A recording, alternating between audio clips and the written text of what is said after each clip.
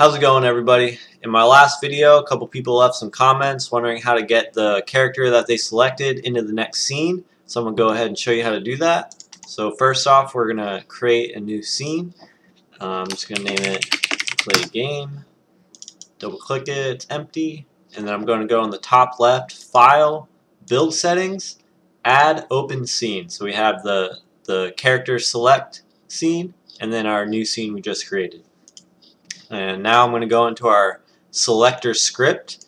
This is the same script from my previous video and we're just going to have to add to it a little bit.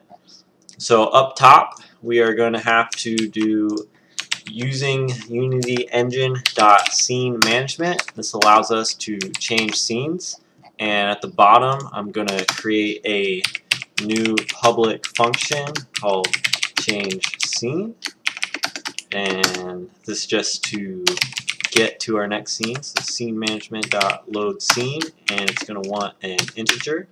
And when we added the scene previously, it was one, so that's why I'm putting a one there.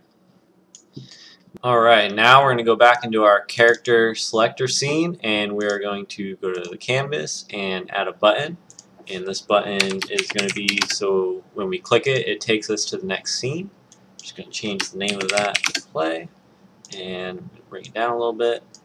Then on the on click, I'm going to link it to our selector manager script and that change scene function we created. I'm just going to press play and test it out real quick.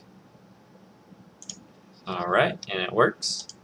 So now I'm going to go back to our selector script and now we're going to put in the logic to actually save the character we selected. So how we're going to do that is through player prefs. So I'm going to create a private read-only string and name it selected character and selected character. Alright, and we're going to go down to our switch statement where we actually select our characters and we're going to do player prefs dot set int and you can look and it says it wants a key and a value. So the string we created up here, that is our key. And our value is we can just use the same number as our case. And this works going one way, but going the other direction, we're going to have to match it up a little bit. Alright, so 1 is banana, 2 is guava, 3 is grape, 4 is lemon.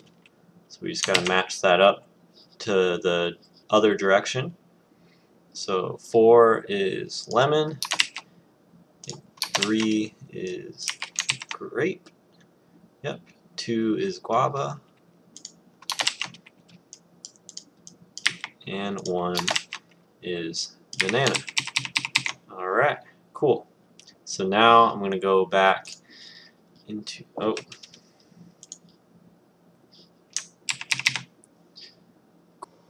Cool. So now I'm going to go back into Unity. I'm going to go into our new scene, create an empty game object, name it main character, and I'm going to add a sprite render to it.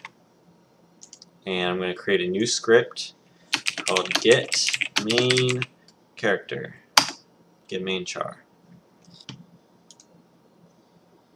Right, now I'm going to open up this script once it loads. Alright, cool.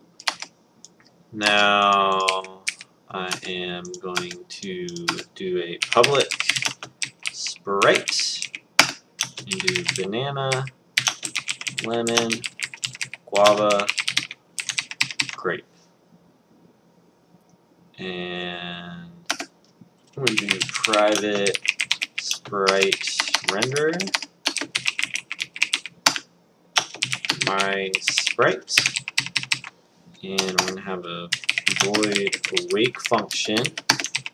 And here I'm going to just link my sprite equals this dot game object. Oops. This dot get component sprite render Alright, and also in our awake function, no, we can do it in the start. Alright, so we're going to have a local integer called get character and then we're going to do get character equals player prefs dot get int and we're going to need a key so we can go to our selector script and just copy and paste this in here. Use the same one. And then create a switch for this get character. Case one, break. Copy paste this. I'm gonna need default one. Break. Change the numbers alright and then one. One is banana two is guava three grape so banana. Alright so it'd be my sprite dot sprite equals banana. And guava. Grape. And lemon and just in case something wonky happens we're going to default it to lemon. And now we have to go back into Unity and link our sprites once this loads. Alright so we're going to link banana lemon guava grape. And one last thing is double click main character and where it says Z negative 10 change that to 0 otherwise it's going to be behind the camera and you won't be able to see it. So change that to 0 you can even change the scale to 0 because this is all 2D stuff. And if it's 3D um, it's going to be a little bit different but 2D you can change it to 0 and let's see if this works. Save it press play. And let's go try banana. And we got banana. And we're gonna try it again alright this time going the other way and we're gonna stop on grape and we got grape. Alright so this is how we can use the character selector screen and player prefs to actually bring that character that we selected into the next scene.